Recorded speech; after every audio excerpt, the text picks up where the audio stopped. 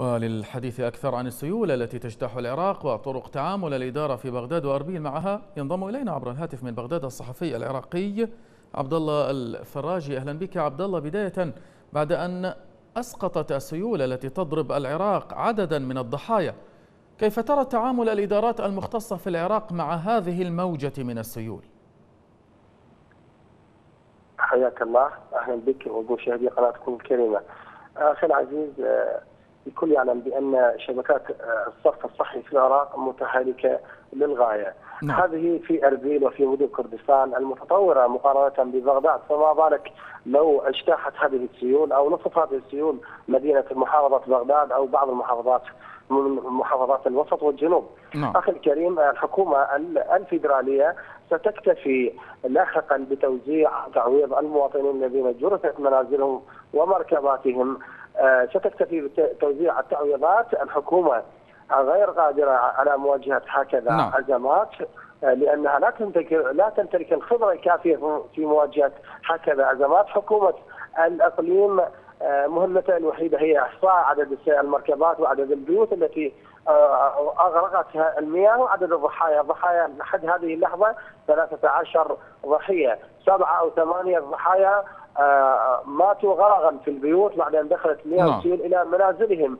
أحد الضحايا أطفال طفل واحد أحد الرجال ضرب بصاعقه بصاعقه رعدية مما تسبب في وفاته. قبل ساعتين من الآن انتشرت الفرق الطبية وفرق الدفاع المدني آه، جثة لشخص جرفته المياه خارج محافظة أربيل. محافظة أربيل أوميد خوشناوي يحذر من كارثة ربما تحاصر الفيضانات مركز أربيل وبعض أطرافها وبعض النواحي أو الاغذيه اللي التي تتبع أربيل.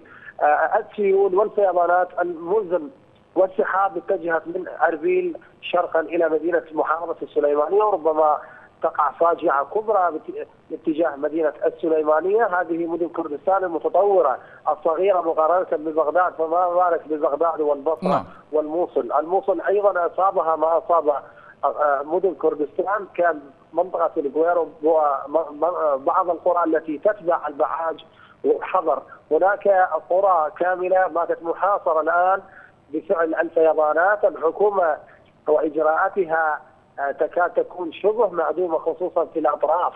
الحكومة الآن تخشى حكومة اقليم كردستان والحكومة الفيدرالية تخشى من وصول السيول آه، آه، خصوصا وصول السيول إلى وسط اربيل خصوصا مع استمرار تدفق المياه واستمرار سقوط الأمطار بكميات كثيفه. نعم. عبد الله انهيار جسر الكوير الحديدي وتوقفه عن الخدمة بسبب السيول، إلى أي مدى ترى أن هذه الحوادث تكشف عن كم الإهمال الذي يضرب القطاع الخدمي في العراق؟ نعم طبعا هذا واضح. هذه الحوادث وغيرها تبين للمواطن الصغير المغلوب على أمره بأن المنشآت والبنى التحتية التي تقوم بترميمها وإنشائها هذه الحكومة هي فقط لتمشية الحال ربما شهر شهرين أو عام عامين ليست منشآت أو بنى تحتية استراتيجية تقاوم الأمطار والظروف المناخية القاسية نعم. التي ربما هذه إحداها تتكرر كل عام هذه الموجة الثانية التي تضرب اربيل وضواحيها نعم. قبل شهر أو شهر ونصف من الآن ضربت موجة سيول عارمة وأيضا اوقعت عده ضحايا وجرفت عشرات المنازل نعم. وقامت بعدها الحكومة المركزية بتعويض المواطنين نعم. الأكراد ب 2 مليار آه، دينار عراقي.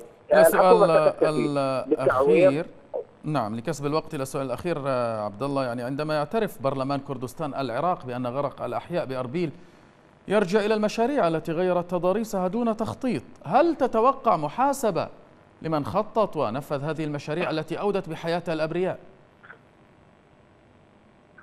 آه، آه، لا لا يمكن محاسبة هؤلاء لأن هؤلاء جلهم يتبعون الحزب الحاكم الحزب الديمقراطي الحاكم.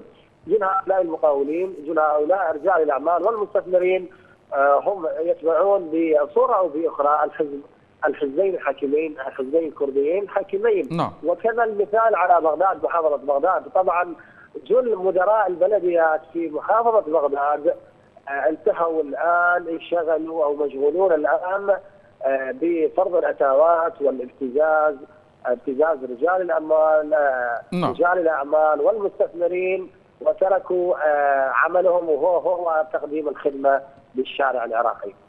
من بغداد الصحفي عبد الله الفراجي كنت معنا عبر الهاتف شكرا جزيلا لك.